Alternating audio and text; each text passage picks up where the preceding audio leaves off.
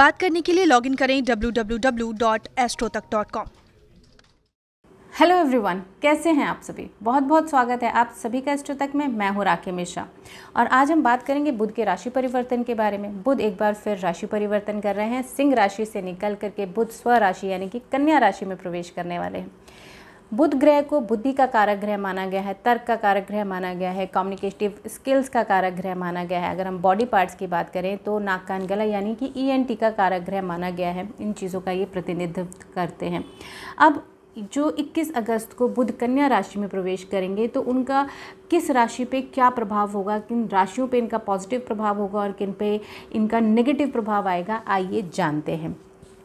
सबसे पहले बात करेंगे मेष राशि के बारे में। मेष राशि के जातकों के लिए ये जो गोचर है, उनके सिक्स हाउस में रहेगा, यानी कि हाउस ऑफ़ रोग ऋणो, शत्रु में रहेगा। इसके साथ साथ मामा का भाव भी माना जाता है सिक्स हाउस को। तो कन्या राशि में बुध का प्रवेश मेष राशि वालों के लिए अच्छा होगा। जो बच्चे कॉम्पिटेटिव एग्ज़ाम्स में बैठ रहे हैं या एग्ज़ाम्स देने वाले हैं, उनके लिए समय अच्छा है। और आपके मामा पक्ष से आपके रिश्ते और मज़बूत होंगे, अच्छे होंगे तो ओवरऑल ये समय आपके लिए अच्छा है। थोड़ा सा अपनी सेहत का ध्यान रखिए, बाकी चीज़ें आपके लिए अच्छी हैं। अब हम बात करेंगे वृषभ राशि के बारे में।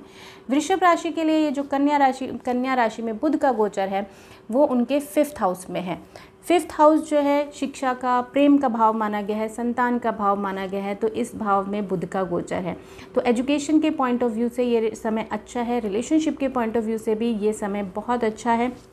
इसके साथ साथ संतान प्राप्ति की जिन लोगों को इच्छा है, उनके लिए भी ये समय बहुत पॉजिटिव रहेगा। तो ये ओवरऑल रव रिलेशनशिप्स के लिए भी अच्छा है। तो ओवरऑल ये समय आप लोगों के लिए अच्छा है। आपको एजुकेशन में फ़ायदा मिलेगा, अपने रिलेशनशिप्स में फ़ायदा मिलेगा और अगर आपकी इच्छा संतान प्राप्ति की है तो वो भी पूरी होने की पूरी पूरी संभावना इस समय में बनेगी। अब हम बात करेंगे मिथुन राशि के बारे में।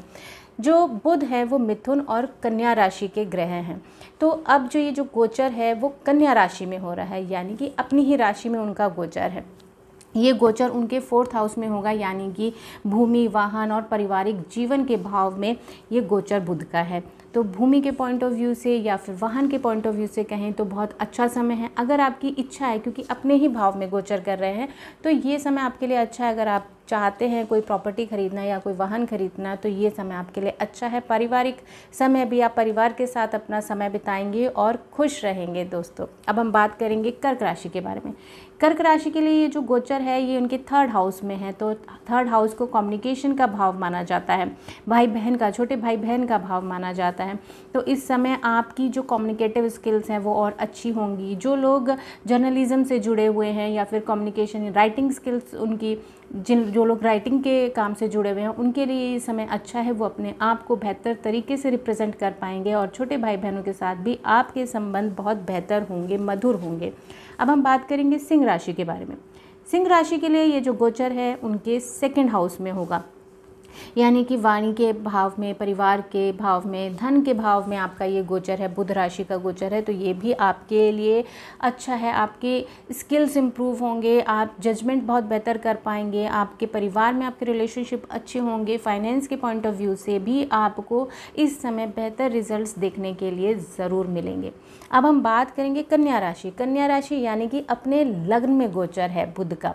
तो ये जो लोग हैं कन्या राशि के, ये लोग बहुत बुद्धिमानी से, बहुत सोच समझ करके, सोच विचार करके अपने लाइफ को आगे बढ़ाएँ तो इनके लिए यह समय और भी अच्छा बहुत शुभ फल लेकर के आने वाला है। लेकिन आपको ओवर कॉन्फिडेंट नहीं होना है, अपनी वाणी पे आपको कंट्रोल रखना है, अचानक में किसी को भी कुछ भी मत कह दीजिएगा। Health of point health point of view से भी ये समय आपके लिए अच्छा है, शुभ है।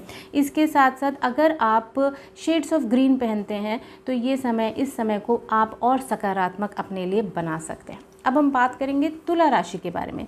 तुला राशि का ये जो गोचर है तुला राशि में, ये ट्वेल्थ हाउस में होगा। इस हाउस को बोला जाता है फॉरेन ट्रैवल्स, एक्सपेंडिचर, हॉस्पिटलाइजेशन का भाव माना गया है। तो इस समय आपको पूरा पूरा ध्यान रखना है कि जिन लोगों का इम्पोर्ट एक्सपोर्ट का बिज़नेस है, उनके लिए अच्छा है, उनकी बातचीत अच्छी होगी कम्युनिकेशंस अच्छे होंगे उनके तो उनको रिजल्ट्स बेहतर मिल सकते हैं।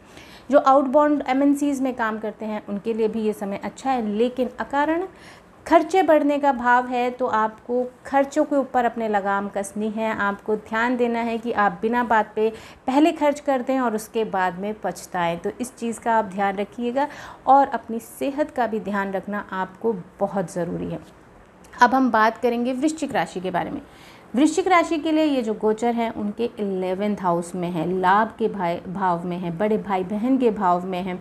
आपका इस भाव को हम आपके चाचा के भाव भी मानते हैं। तो इस हाउस में बुध का गोचर आपके लिए शुभ फल वाला है। अगर आपके जॉब में आपको अप्रिसिएशन मिल सकता है, आपको अवार्ड मिल सकते हैं और आपका जो आपके पिता पक्ष यानी कि चाचा से अगर रिलेशनशिप्स कुछ भी अगर मतभेद था तो वो भी दूर होने की पूरी पूरी संभावना बनेगी और लाभ का समय है आपके लिए।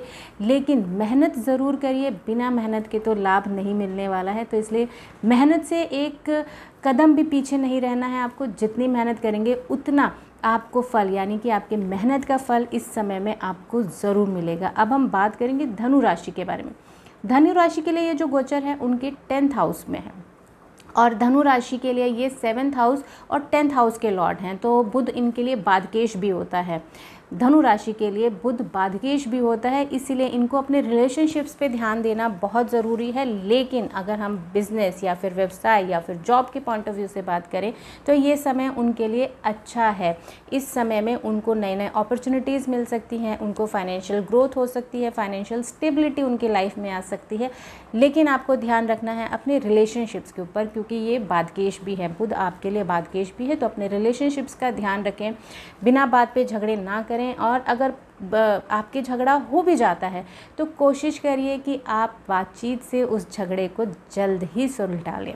अब हम बात करेंगे मकर राशि के बारे में। मकर राशि के लिए ये जो गोचर है, उनके नाइन्थ हाउस में है। सिक्स हाउस मिथुन की राशि है और नाइन्थ हाउस कन्या राशि है तो सिक्स एंड नाइन्थ के लॉर्ड हैं बुध और नाइन्थ हाउस में उसका गोचर है। तो आपको इस समय ये जो भाव है, ये पिता का, धर्म का लॉन्ग ट्रेवल्स का भाव है तो इस समय में आपकी छोटी मोटी यात्राएँ भी हो सकती हैं। आप दूर कहीं पे धार्मिक यात्रा भी कर सकते हो।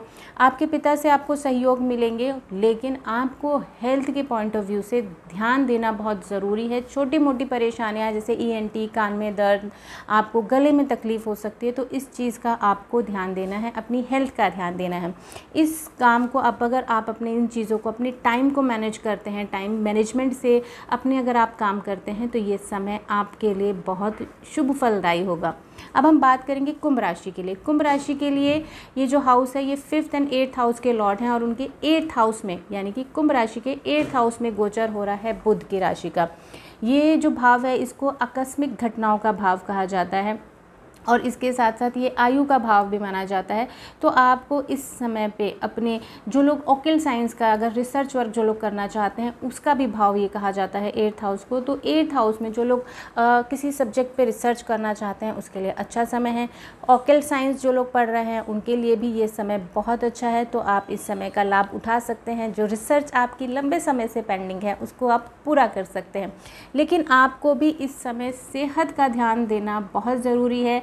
आकस्मिक घटनाओं का कोई ध्यान नहीं दे सकता है, लेकिन आपको अपना एक कदम एक एक कदम आपको सोच समझ के रखना है, बहुत संभाल करके अपने इस अगले समय को आप निकालिए और रिसर्च वर्क में आपके लिए बहुत ही अच्छा समय है। अब हम बात करेंगे मीन राशि के बारे में।